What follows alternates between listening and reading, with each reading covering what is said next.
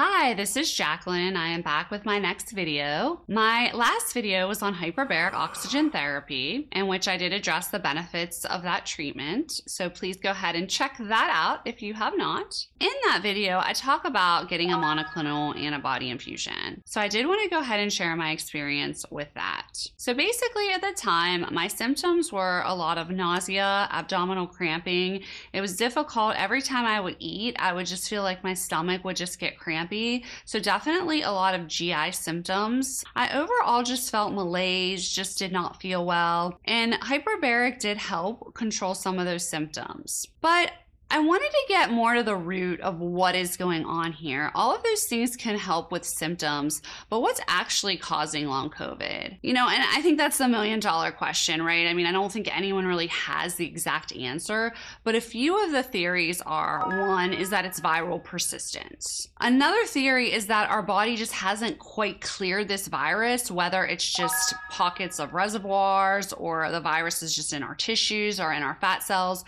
But for some reason, our body could just not clear this virus from our body. And then there are other theories that have to do with like autoantibodies and microclotting, which I'm not going to get into those, but I really do want to talk about viral persistence or just having these viral reservoirs. So there are two articles, and I am going to link in the description below, of people who have had long COVID that had monoclonal antibody infusions and recovered. So that theory does play into the fact that there is some viral persistence, or again, some some reservoirs, virus in our cells, things like that during that time, about a month ago, I did learn that I was exposed to COVID. And instead of just waiting it out to see what happened, I did get what we would call prophylactic or preventative monoclonal antibody infusion. I did not end up having COVID, so that was great, but I did want to share my experience with the infusion. So there are different types of monoclonal antibodies. I am going to go ahead and put the proper names up on the screen because I cannot pronounce them.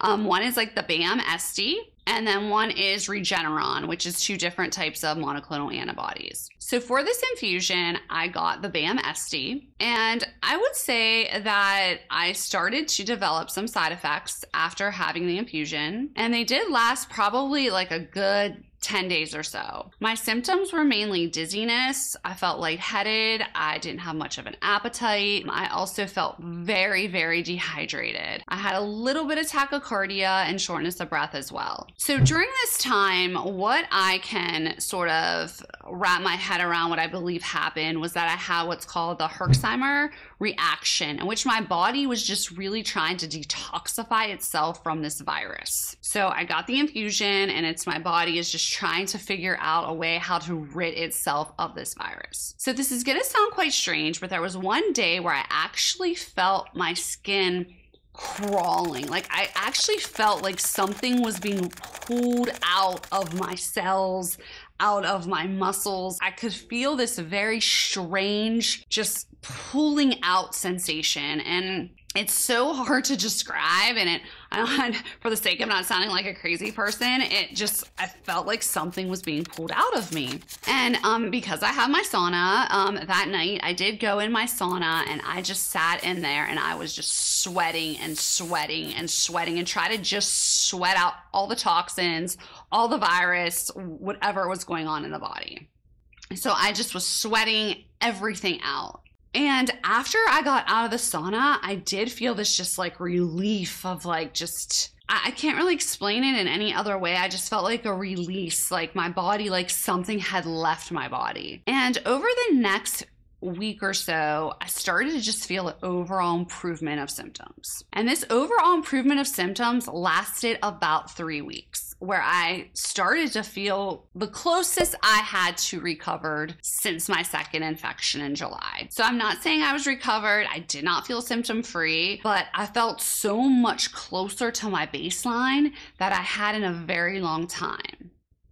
So it does make one wonder that there is some type of viral persistence or there are some types of reservoirs holding this virus in, and that monoclonal antibody infusions can help clear that out. I mean, for lack of a more scientific term. Uh, right now, it is not approved for general use for long haul COVID. It is mainly being used in the acute COVID phase, but it is something to start thinking about. And I think every time we find something that can get us closer to feeling recovered, of feeling healed, we have to explore that more to figure out could this be a potential option for long haulers? I went about three weeks feeling much, much better. And then I started to slowly, unfortunately, feel some of those symptoms creeping back in. And that is when I decided to do a second monoclonal infusion. So that is going to be MABS part two. So I do want to go ahead and explain the rest of my journey after this first MABS. I did end up getting a second monoclonal infusion, and I will give you guys all the details on my next video. We're heading out. Smash the like button and subscribe. Bye.